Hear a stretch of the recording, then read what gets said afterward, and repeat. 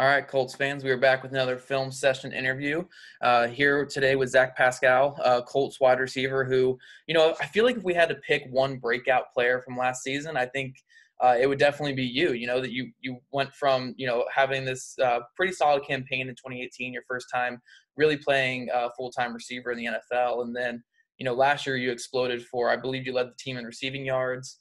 Um, I think you were second in catches or third in catches, and also uh, tied for the team lead in receiving touchdowns as well. So, you know, coming from where you did, you know, as an undrafted free agent, jumped around a couple teams uh, to where you were last year as the leading receiver on a team. I mean, how did that kind of feel for you to have that big season? Um, it felt good. It gave me a lot of confidence. Um, I remember like in every level in every level of football that I played, I've had a, a season where I just gained so much confidence and it took off from there. So um, that was that was good for me to feel. But I mean, it just shows you know just continuing to grind, just continuing to work at your craft and continue to get better, no matter what level you at or what day it is. Yeah, yeah, for sure. And you know, you, you came from being an undrafted free agent. I believe you were there uh, with the Redskins uh, initially out of college, and then uh, spent a little bit with the Titans, and then you've been with the Colts here these last couple years. Uh, but I want to ask you, you know, because you're kind of like a I guess I want to say like a success story of undrafted free agent. You know, there's very little guys uh, who are in your shoes who make it as far as you have. Um, but you're at the point now where you're, you know, you're a roster regular uh, for this Colts team. What do you have to kind of, what kind of mindset do you kind of have to have though to be an undrafted free agent who kind of sticks in this league like you have uh, so far in your career? You gotta you gotta continue to work no matter the odds that that are against you. You gotta con- continue to work. It's all about your mindset and your confidence if you come into a camp knowing, okay, there's six guys in front of you, you know, you're last on the depth chart. Well, what can I do to show that I can, you know, move up a spot? Um, stuff in the league is not handed, and I mean, going through the, I'm, I'm, I'm glad I went through this whole process because it just kept me like continuing to have to get better. Because every year there's guys coming in, you know, that's trying to take your spot, or guys coming in that you know is more competition. So it's like every day that you are not working, somebody else is and that just and you uh, to me i feel like you just have to fall in love with the ground. Like you have to fall in love with it. You don't love the game of football and love getting better. I guess it, it, and this game is probably not for you but um that's that's that's kind of what i you know got from all of the things that i went through is just continue to grind don't stop. Yeah absolutely. And, and i think the biggest thing that you know I, i've seen these last couple years and i know a lot of fans, coaches, uh, everyone has kind of seen is uh, the one thing that really stands out about you before, especially before this breakout season, was you know you were always kind of the guy who would do the little things you know it was special teams it was run blocking um, you know it was all those little things that you know maybe don't show up in the stat sheet or or you know the fantasy guys or whatever like that but you were doing all those little things to kind of make yourself something that you know a player that these coaches want on the team uh, was that a big emphasis for you when you kind of stepped in as an undrafted free agent uh, you know to to be good at those little things to run blocking special teams and make coaches make it kind of like a hard decision for them to cut you if they wanted to cut you?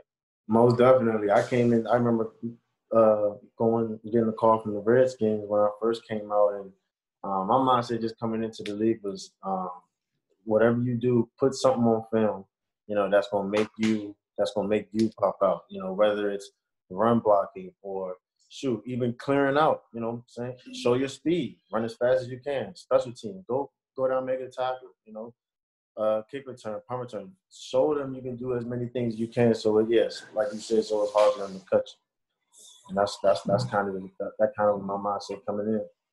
Yeah, and then you know, with all that, you can still build your game and get to the point where you were last year. And you know, with with a lot of these clips here, we're going to talk about kind of your receiving game.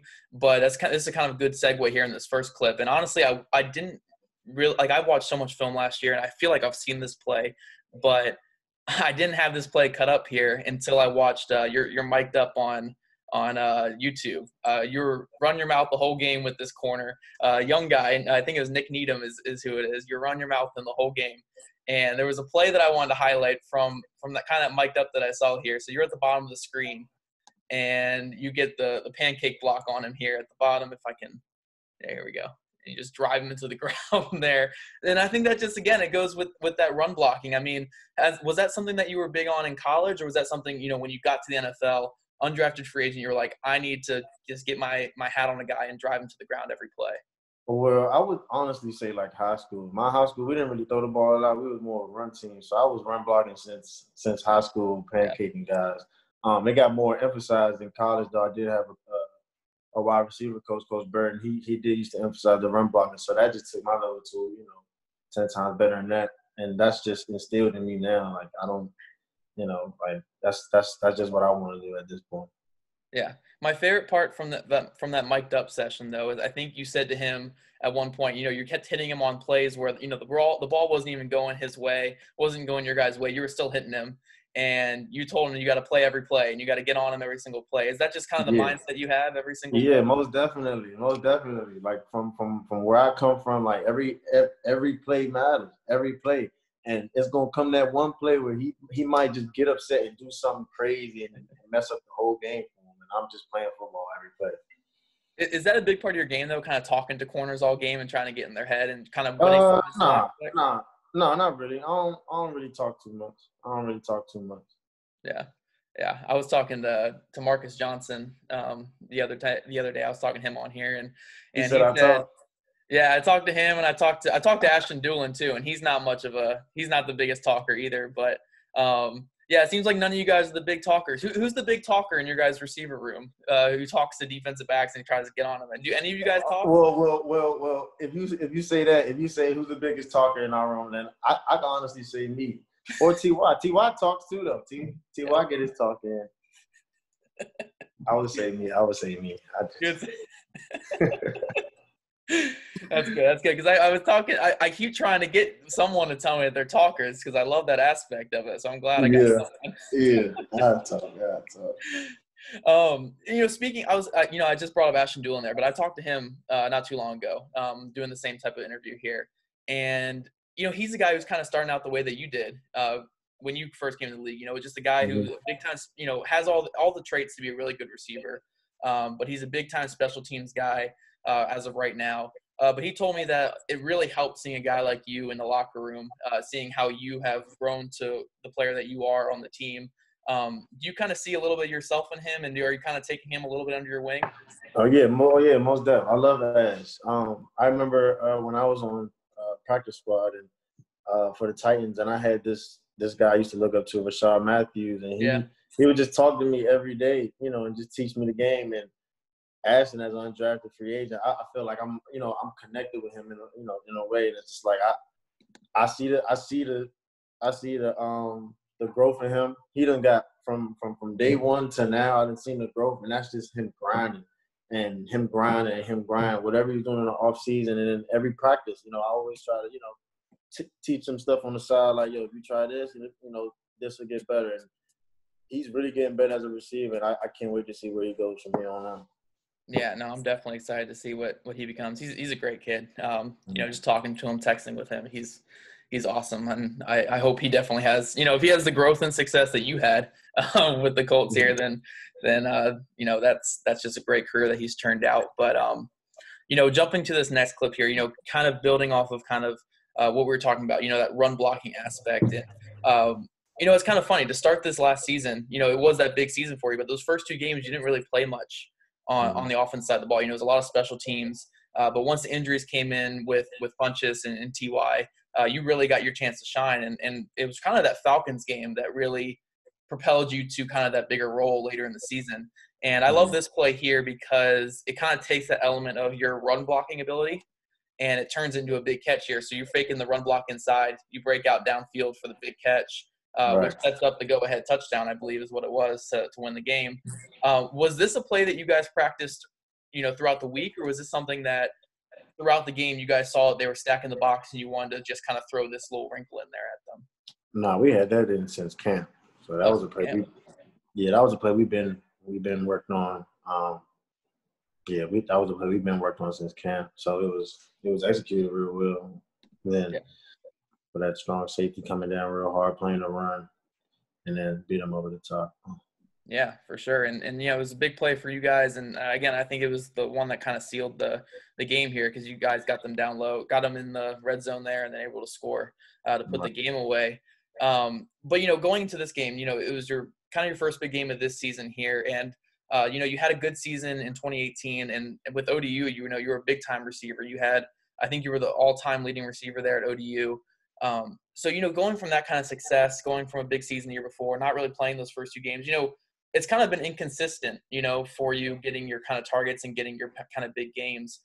Is that kind of like I guess does that affect your mindset whatsoever as a receiver? You know, not getting the ball some games, getting the ball a lot some games. Like, how does your mindset kind of work with with that? You know, not getting the ball every single game. Don't get me wrong; it definitely uh, affects your mindset, but that's that's when uh, that's when you got to be mentally strong. You know what I'm saying? That's when you personally on yourself got to be mentally strong and not let you know things like that you know alter your mindset and continuing to grind and continuing to just believe in you know my time is going to come for uh, maybe this is not the game or you know just continuing to work and get better on yourself so that when the time does come you know you make something happen of it and um, it'll come and I'm, I'm a firm believer of that it'll come you just got to make something happen when it comes Awesome, awesome, and you know, I, I, I told you I talked to Ashton, I've talked to uh, Marcus as well, and you know, those guys are are big parts of this as well. But I've asked them, you know, with the Colts, I've heard a lot of how big practice is for you guys. You know, when it comes to installing plays when it comes to uh, who plays on Sundays, what kind of plays are going to be run. Um, but you know, from your experience with the Colts, how big is that practice element when it comes to your guys' game days?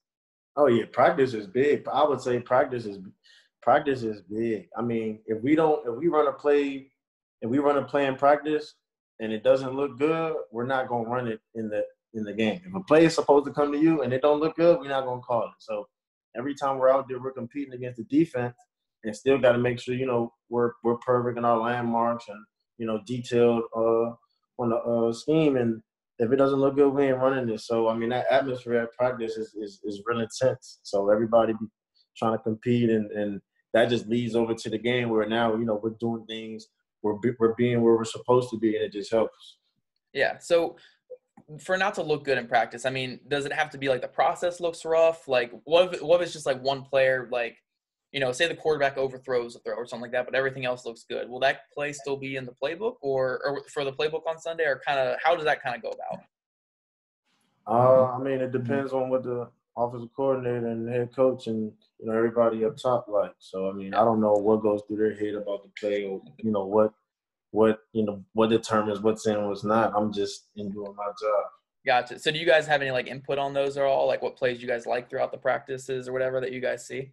I'm sorry. Say one more time. So do you guys have any like input on plays that you guys like, or is that all kind of up top with with Coach Reich and and Sirianni and all them? I don't. I don't. So I I don't know. I don't know who got the input on it.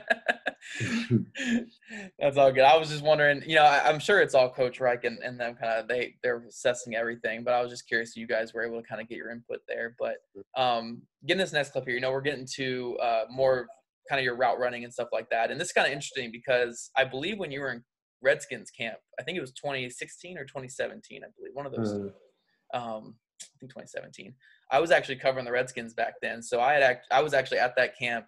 Um, I, I was able to see you kind of in person there, and personally for me, as someone who's kind of watched your game these last couple seasons, you know, I, have really seen that kind of growth for you in this area and your route running. And this is a, a, play that you had here against the Titans here at the bottom of the screen. Um, it's a deep in route and you're able to beat them off the line, break inside, uh, really good feet, and you're able to get that big catch for the first down here. Um, but I think you know from from your day one in the NFL to to where you are now, I mean, I think you're you've become a really good route runner here in the NFL. Has that been something that you've really worked on since you got to the league? You know, getting route running, getting your landmarks, and and kind of uh, you know getting quicker feet in and out your breaks and stuff like that. Yeah, most definitely. I mean, and I learned coming into the league, you got to try and get as much separation as you can. Um, and that that comes with route running. So I, I watch guys like uh, Keenan Allen and uh, Antonio Brown and Julio Jones and how they run their routes off steps and stuff like that, and just try to incorporate it into my game.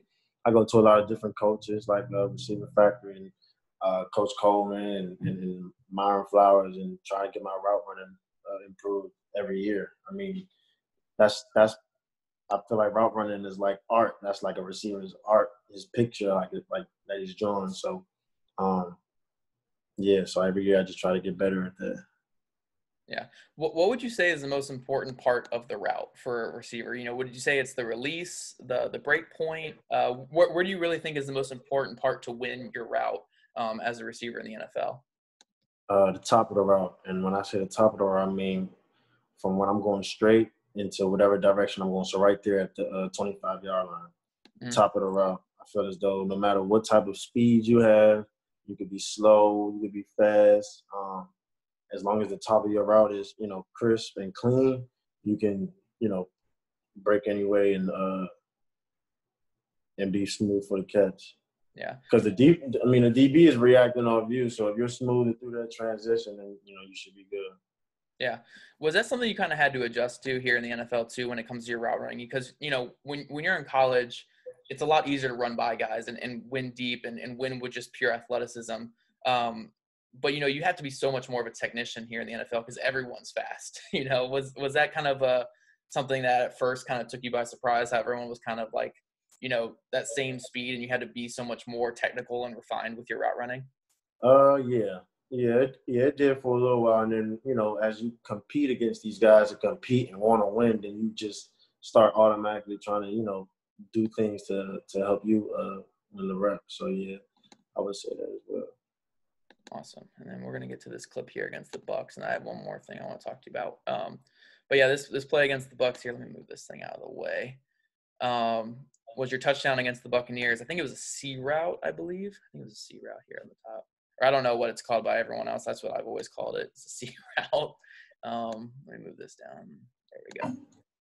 So here we go. We got the top of the route. Um, and I, I, really like this play. I mean, it's just a really good um, play, just kind of staying consistent um, in your route there. And the corner kind of jumps up and um, misplays the ball. But um, what what I always liked about your season last year is I think I went through all your plays and I, I charted almost every single ball that was thrown your way. And I know Pro Football Focus and all those other sites have done it too. But you know, at most I could take maybe one one drop at most. I mean, that's kind of judging it being kind of strict. Um, so you've you've been a really consistent pass catcher, great hands, uh, and really reliable guy um, catching away from your body. Um, and I, that was something you had in college as well. You know, you're you're really good with that in college. Um, how big is that for someone like you and just any receiver in general to be that reliable target down the field for a quarterback? I mean, honestly, honestly, to me, I mean, I don't even. I, I will always tell guys like I don't even think I have the best hands. Even in college, I don't. I don't think I had the best hands. I I just work like when I say I I, I go out and I practice these reps. I get these reps continuously over and over and over, different angles. You know, mm-hmm. different um, ways of trying to you know hand out coordination. That that that's what helps me in the game. I don't like guys will tell you they'll see me drop so many so many like you know different catches and then turn around and make and make other type of catches. Um, but it's just I feel like it's just continuing to work um and continuing to get better at it. Mm-hmm. And uh, you know plays like this, you know you stumble at your break here at the top. Let me slow that down a little bit. But um, you stumble at your break at the top and um, I guess the time is kind of thrown off if that happens. You know, if you kind of stumble or something like that, um, but you're able to stay, you know, stay true to your route here and catch the ball.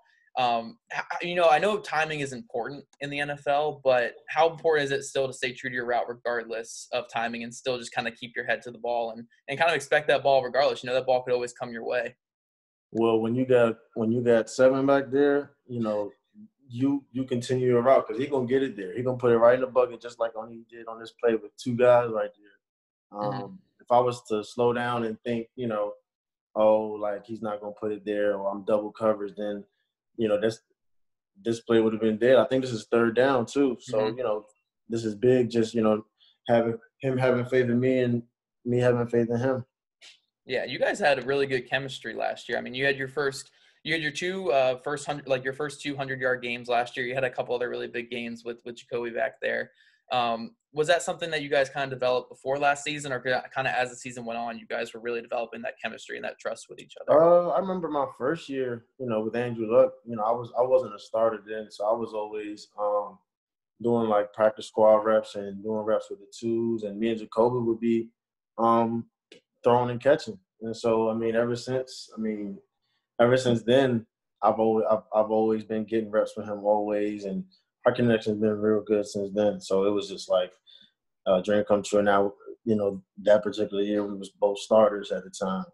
Yeah, yeah, for sure. And then getting to this last game here, and and those we're gonna kind of kind of go. We're just gonna kind of go quickly through uh, these clips here in this last game because I, have been telling people the last couple days because I was watching through some of your your film, and I think this was probably the best game I saw from a Colts receiver last year.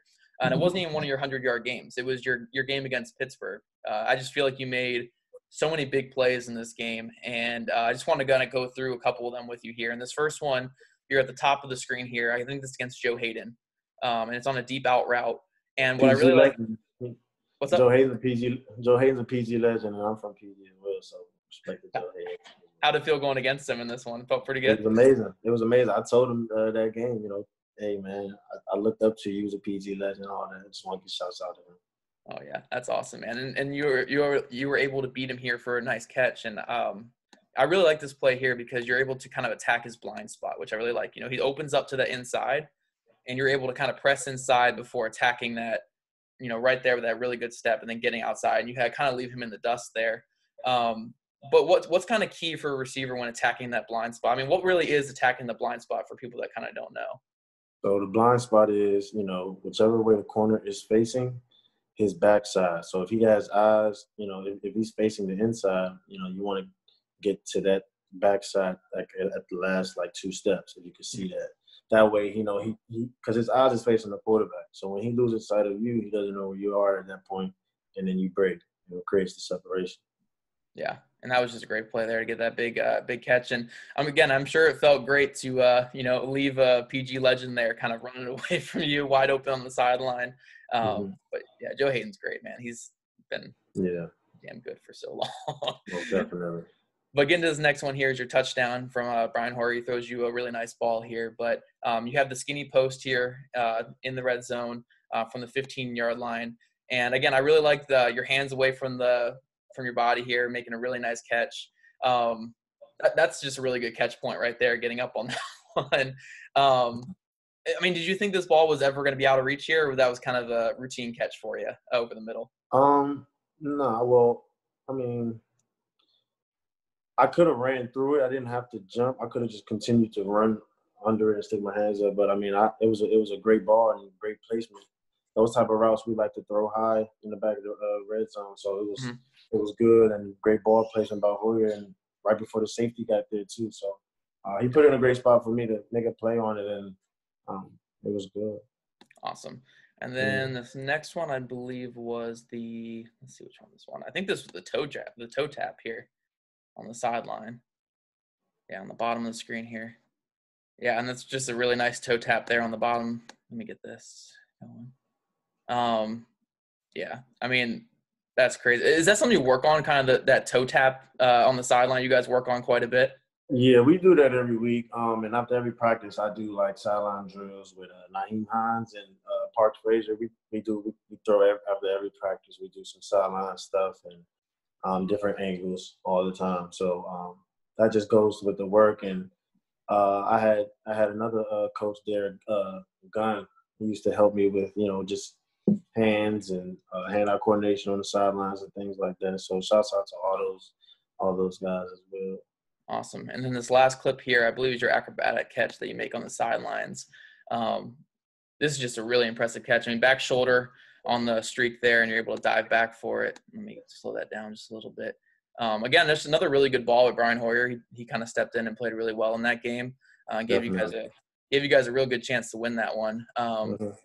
But this is good. I, I, always I'm always curious when it comes to, to streak routes with receivers and quarterbacks, like how that chemistry comes for a background or for a back shoulder throw. You know, is, is that something that you're kind of expecting as you get to a certain landmark, or um, is it kind of when you shoot your head back uh, to the quarterback, you're kind of just adjusting as that ball's coming?